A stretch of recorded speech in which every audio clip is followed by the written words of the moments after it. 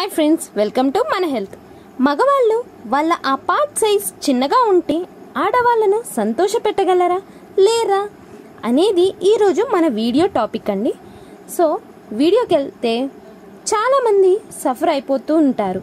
వాళ్ళ ఏజ్ ప్రకారం ఆ పార్ట్ సైజ్ చిన్నగా ఉంటే ప్రాబ్లమా? అసలు దానివల్ల హ్యాపీనెస్ ఉంటుందా లేదా? ఇంకేమైనా ప్రాబ్లమ్స్ వస్తాయా? లేవా? ఇవన్నీ నేను మీకు ఈ వీడియోలో ఈరోజు షేర్ చేస్తాను ఫ్రెండ్స్ మీ పార్ట్నర్ ఎవరన్నా ఉంటే అంటే మీరు ఒక రిలేషన్షిప్లో ఉన్నారంటే అటు గర్ల్స్ కావచ్చు లేక బాయ్స్ కావచ్చు ఫ్రెండ్స్ హస్బెండ్ అండ్ వైఫ్ కావచ్చు. ఇదేంటంటే ఫ్రెండ్స్ అబ్బాయిలకనే కాదు ఒక రిలేషన్లో ఉన్నప్పుడు అమ్మాయిలు కూడా ఆలోచిస్తారు.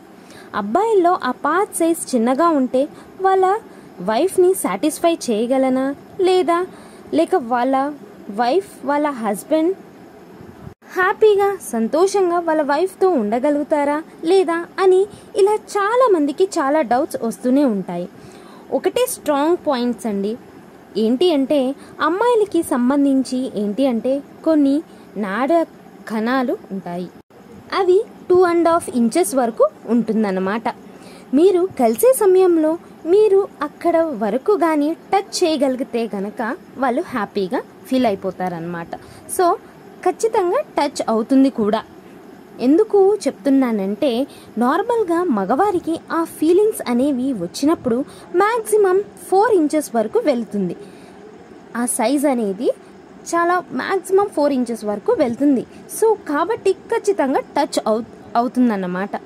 సో ఖచ్చితంగా హ్యాపీగా సాటిస్ఫై చేయగలుగుతారనమాట అండ్ మగవాళ్ళు ఏంటి అంటే ఫస్ట్ స్ట్రాంగ్గా ఉండాలన్నమాట. అవతల అమ్మాయి సాటిస్ఫై అయ్యిందా లేదా అనేది మాత్రమే ఇంపార్టెంట్. కానీ చాలామంది ఏంటి అంటే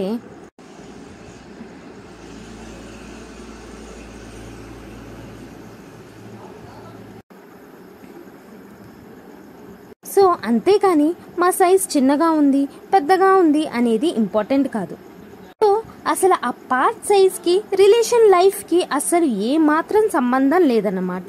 సో దీని గురించి చాలామంది సఫర్ అయిపోయి హాస్పిటల్స్ అంటూ ఈ హాస్పిటల్స్ అంటూ తిరుగుతూ ఉంటున్నారు కాబట్టి ఈ వీడియోలో మీ డౌట్స్ క్లియర్ చేయడానికి ఈరోజు నేను ఈ వీడియోని షేర్ చేశాను ఫ్రెండ్స్